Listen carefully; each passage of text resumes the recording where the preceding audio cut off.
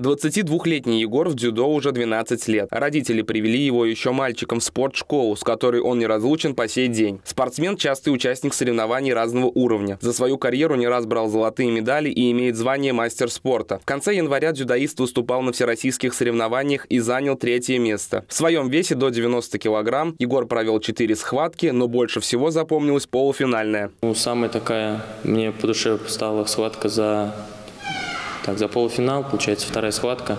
Сделал очень такой эффектный зрелищный бросок, подсечку.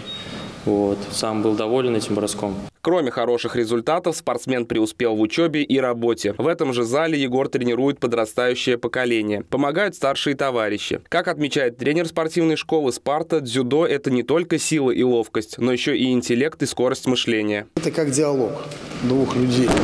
Один предлагает одну ситуацию, соперник он должен в ней разобраться, сделать какие-то ответные действия. Время реакции позволяет э, принять правильное решение, положительное для того, чтобы переиграть ситуацию. Это я поэтому говорю, что одинаковых ни поединков, ни бросков не бывает. Впереди у Егора первенство ПФО для спортсменов до 23 лет. Соревнования пройдут в конце февраля на родной земле, в Ульяновске. Кирилл Савосин, Александр Кудряшов, Улправда ТВ.